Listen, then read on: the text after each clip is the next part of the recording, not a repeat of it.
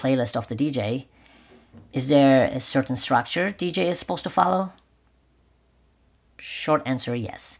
Most of the times, and according to the traditions, DJs, tango DJs, are expected to follow a particular order when they organize their tandas of tangos, waltzes, and milongas. There will be exceptions to this order, but once you know this traditional order, you will also recognize how and why sometimes DJs play differently. Soon I will explain. Traditionally, tango DJs will play their music in the order of TTV, TTM. Each letter represents a tanda, a group of songs. There will be a tango tanda, consists of four songs, sometimes less depending on situations. And uh, tanda finishes, and we hear a short announcement like song. We call it cortina, curtains in English, usually 30 to 40 seconds long, depending on the size of the dance floor and number of the people dancing that night. As it would happen during, let's say, watching an opera, the curtains come down to remind us a short break. And most dancers leave the floor and their partners during cortina. Some will find it danceable and will dance during the cortinas.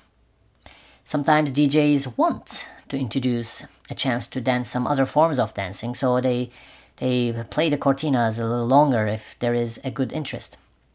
But if the cortina song fades out and shortly after you find yourself being the only couple dancing, you you might find it embarrassing, like thinking the curtains were actually another scene of the opera.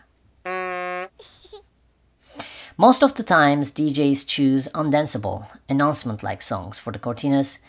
Well, according to TTV TTM, next time there will be another tanda of tango, right? So, T, T, okay. And then, uh, of course, another cortina, then a valse tanda, and um, then tango tanda, another tango tanda, and another, of course, there are cortinas in between. And finally comes the milonga a quicker, happier type of music. Usually three instead of four of them together. Then surely another cortina, and uh, we are back to the beginning. Whew, that's that's that's a lot of cortinas, don't you think? You should you should learn how to behave during cortinas, as well as learning how to dance between the cortinas to the tandas. But that's another lesson. Tango songs are usually two and a half to three minutes long. We should expect 12 to 13 minutes for each tango tanda. Waltz is similar, another 12 to 13 minutes, and milongas are generally shorter songs, and three milongas will take 7 to 9 minutes. If the cortinas are 30 to 40 seconds long each, we can safely assume the entire set of TC, TC, VC, TC, TC, MC should take at least an hour.